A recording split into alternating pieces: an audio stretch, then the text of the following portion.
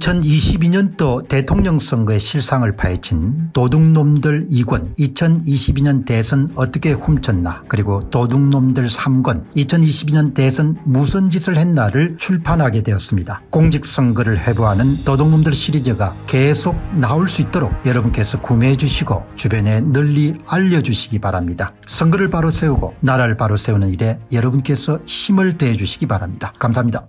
안녕하십니까 공병호입니다. 윤석열 대통령의 이제 발언이 때로는 조금 직설적이죠. 용어 선택하는데.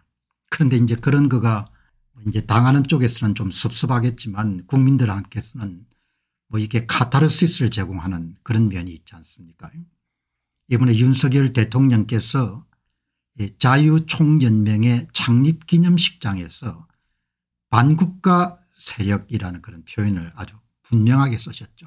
뭐 저는 쌍술 들고 박수를 치는 그런 표현입니다. 야, 정말 참 시원한 표현을 썼다. 반국가 세력 뭐 야당이 예, 뭐 찔리는 게 있는지 반국가 세력 발언에 대해서 윤석열 대통령은 사과하라 사과하라 사과하라 뭐 이렇게 이제 또 예, 대들고 대통령실에서는 이제 또 뭐 그것이 여러 가지로 확산되는 것을 또 걱정해 가지고 전 정부를 겨냥한 것은 아니고 일반론을 이야기한 것이다. 뭐 그렇게 이제 설전이 반국가 세력 대한민국에서 반국가 세력은 존재하는가 누가 반국가 세력인가 반국가 세력은 어떤 짓을 해왔는가 그리고 지금 어떤 짓을 하고 있으며 앞으로 그들은 반국가 세력답게 어떤 짓을 하겠는가 이런 것을 뭐 자연스럽게 이러면 우리가 질문을 던지는 거죠. 그 내용을 여러분들 제가 한번 살펴보도록 하겠습니다.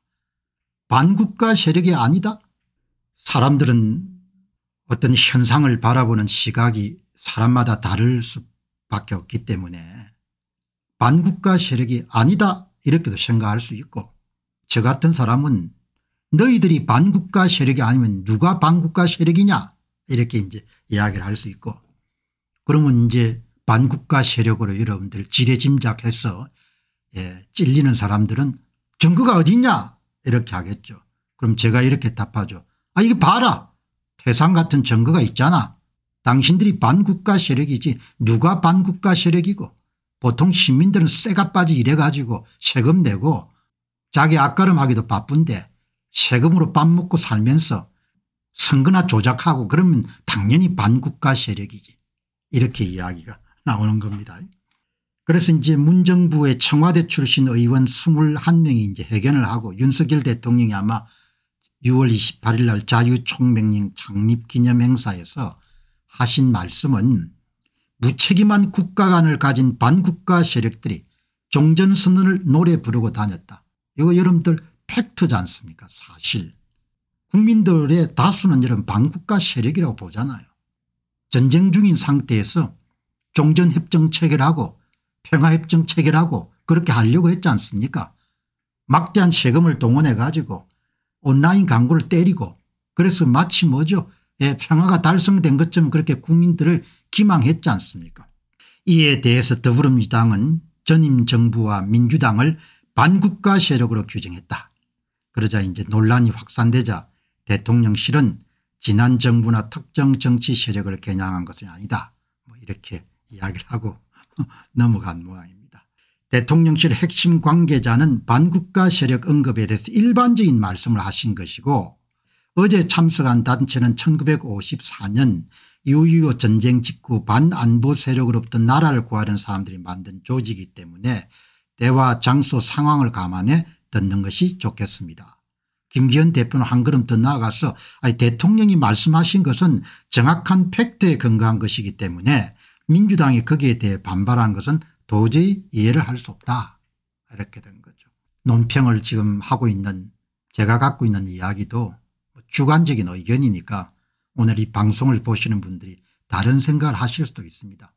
나는 반국가 단체가 맞다고 생각하고 반국가 단체인지 아닌지를 입증할 수 있는 태산 같은 증거를 가지고 있다 이렇게 이야기하는 거죠.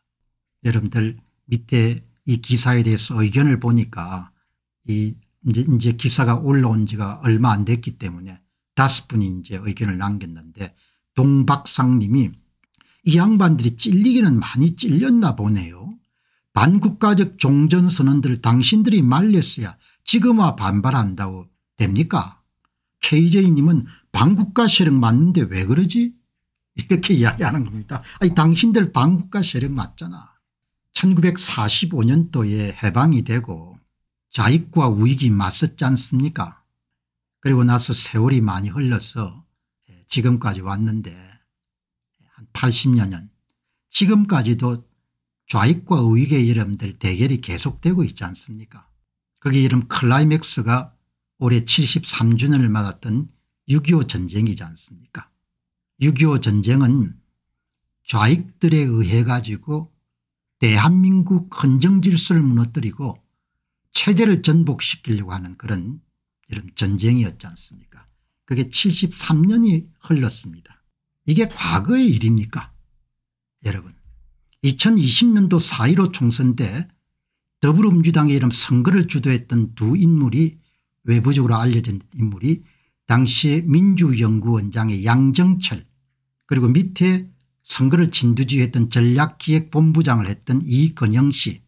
이건영 씨가 여러분들 4.15 총선이 끝나고 4월 16일 날 오전에 보정값 설정값 저는 그것을 조작값이라고 부르는데 그 조작값을 여러분 자랑했지 않습니까? 페이스북에 올려가지고. 그리고 자기들이 예상했던 대로 꼭 그대로 이런 결과가 나왔다고 했지 않습니까? 4월 16일 날 양정철 씨가 여러분들 길거리에 상한 입술 입술 뜨는 거 아마 동영상 많이 보셨을 겁니다. 덜덜덜덜덜덜 떨었지 않습니까 국민들이 선택해 줘서 너무나 겁납니다. 이겼는데 왜 겁나 사전투표가 여름 한참 지, 진행될 때 그 소위 민주당에 하고 인연이 있었던 양반이 뭐 한마디 하지 않습니까 나는 너희들이 이번 선거에서 한 동물 같은 짓을 다 알고 있다. 여러분 반국가 세력이라는 것은 대한민국 헌정 질서를 무너뜨리는 겁니다. 대한민국 헌정 질서를 무너뜨리는 것이 반국가 세력입니다.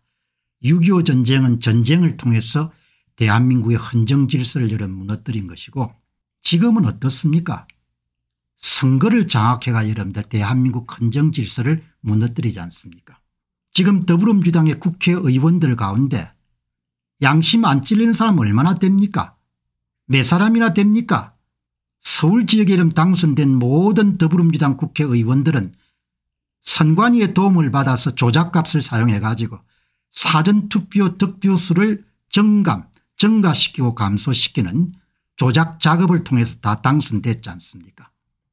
모두가 그렇지 않습니까? 전국의 모든 지역에서 2020년도 4.15 총선에 다 조작을 했지 않습니까? 이게 여러분들 낱낱이 공개된 책이 이 책이지 않습니까? 도둑놈들 사권 이런 책을 내더라도 아무 소리 할수 없지 않습니까? 선거 사무를 담당한 자들이나 더불어민주당 국회의원들이 할 이야기가 없지 않습니까? 왜? 했기 때문에. 조작을 했기 때문에 말을 할 수가 없는 거지 않습니까? 반국가 세력이 맞죠. 반국가 세력이란 용어에 담기에 부족할 정도로 여러분들 사악한 짓을 한 겁니다. 2020년도 4.15 총선에서 더불어민주당 국회의원들 가운데 사전투표 조작이라든지 부정선거를 하지 않고 당선된 사람이 누가 있습니까? 광주광역시하고 전라남도 전라북도의 일부 선거구를 제외하고는 모두 다 이건영이 이야기했던 보정값 제가 이야기한 조작값을 이용해 가지고 미래통합당 국회의원의 여러분들 사전투표 득표수 가운데 일정 퍼센트를 훔친 다음에 그것을 전산 조작을 통해 가지고 더불어민주당 국회의원에 다 더해 줬지 않습니까 거의 전부지 않습니까? 더불어민주당 국회의원들. 전부가 부정선거를 통해서 당선된 거지 않습니까?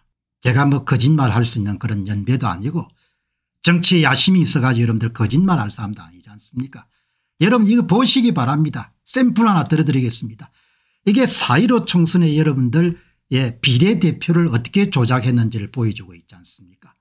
예, 조작하지 않은 광주 북구하고 조작을 한 서울 서초구로 한 비교해 보시기 바랍니다. 정당 투표에서는 조작값이 25%였습니다. 더 미래통합당의 위성정당인 미래한국당이 받은 사전투표 득표수 100장당 25장을 훔쳐가지고 누구한테 대해줬습니까 더불어민주당과 함께 대해준 거 더불어민주당의 위성정당인 더불어시민당에 대해준 거지 않습니까 그러니까 이 B를 보시기 바랍니다. B를 보면 은 사전투표를 조작을 해가지고 미래한국당의 표를 빼앗아 놓으니까 사전투표 득표율 빼기 당일 투표 득표율 차이값이 마이너스 11%란 미친 값이 나오지 않습니까 사전투표와 당일 투표의 득표율 격차가 이렇게 날 수가 없지 않습니까 표를 쑤셔 넣어주니까 더불어시민당은 플러스 9% 나오지 않습니까 정상적인 투표면 0에서 3이 나와야 되지 않습니까 사전투표 득표율하고 당일투표 득표율이 비슷해야 되는 거죠. 이 사람들이 이런 무슨 짓을 했는가 하니까 이거 한번 보시기 바랍니다. 이 짓을 2020년 4.15 총선에 한게 아니고 2018년 지방선거에서 똑같은 짓을 했지 않습니까 이게 전라남도의 도의원 선거입니다. 전라남도는 사실 여러분들 더불어민주당 텃밭이기 때문에 조작할 필요가 없지 않습니까 그러나 철두철미하게 조작을 했지 않습니까 예? 더불어민주당은 항상 플러스고 그다음에 제3당은 아마 뭐 그 당시에 안철수 후보가 이끌었던 국민의당인가 그런 데겠죠. 미래통합당은 여기에 열에 포함이 안 되니까. 이게 여러분들 거의 수치가 비슷하지 않습니까? 신안군 제2투표소 더불어민주당 플러스 12 국민의당 마이너스 12 신안군 제1투표소 더불어민주당 11.3 마이너스 7.1 표를 다 이렇게 훔친 겁니다.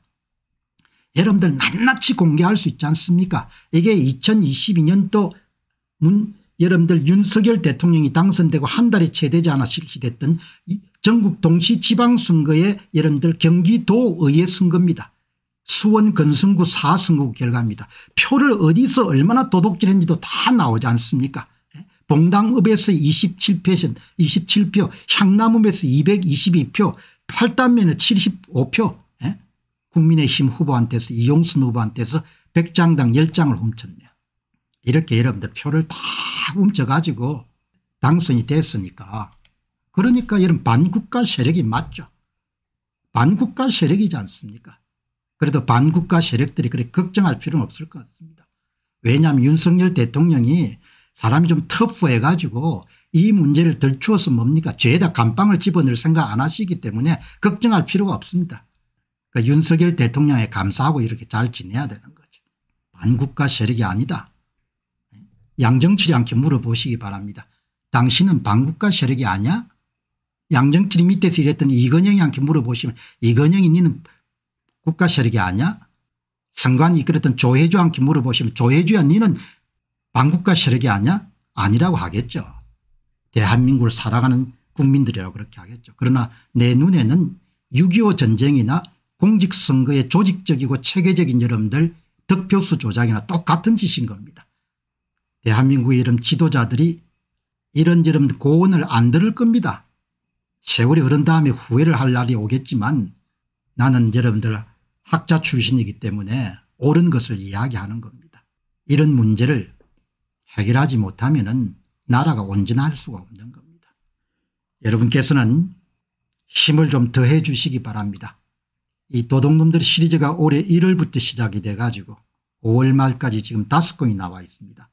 공직선거를 해부한 선거를 지켜야 되죠. 선거가 무너진 상태에서 잘 살 수 있다. 이거는 어렵습니다. 불가능한 일입니다.